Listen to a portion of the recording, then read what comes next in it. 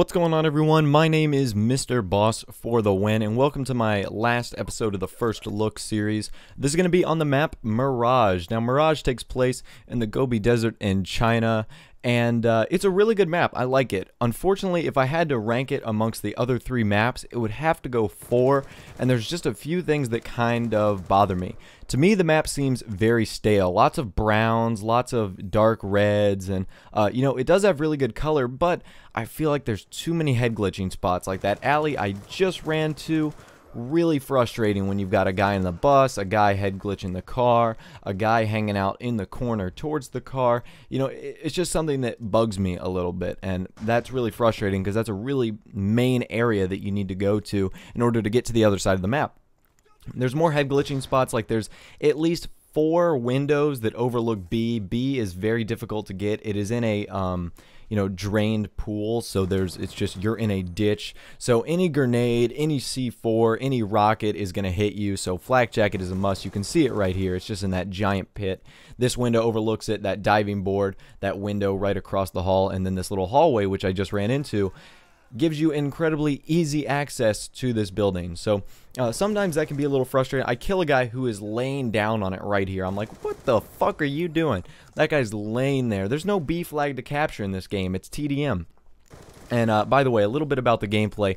This is uh, two matches just combined together, two TDMs. So um, yeah, if you see the score change a little bit, that's why I'm just getting my best clips together that I thought were the most entertaining, and it will give you the best aspect of the map so that you could learn a little bit.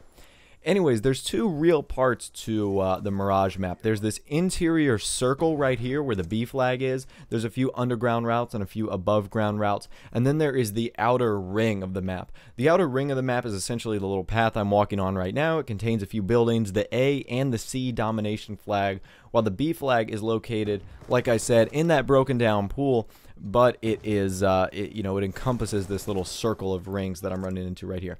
This area gets very hectic just because, like I said, people blend in. If you crouch in a corner, you are going to blend into this little circle so easily, and uh, a lot of times that can be frustrating when you're looking around or you throw a stun grenade and you don't know where he is and uh, you know it comes to bite you in the butt when you can't find him and I can't believe I didn't get that kill right there that was mildly frustrating Anyway, so like I said, yeah, uh, there's a good mix of inner and outer uh, play of the map. I don't think score streaks are going to do very well on this map simply because, like I said, there's so many places to hide.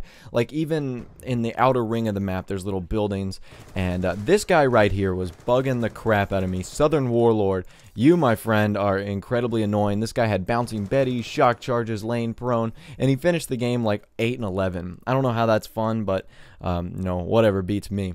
So yeah, I really like navigating this area. I, I, try to stay towards the interior of the map, mainly because I can eliminate the BS that'll kill me, um, meaning head glitching and rocket launchers and uh, hunter-killer drones. So I'm trying to avoid those. And uh, what I do is my best strategy for Mirage is you've seen me pace through these little entrance ways. So there are three entrances to get towards the interior of the map from the uh, exterior.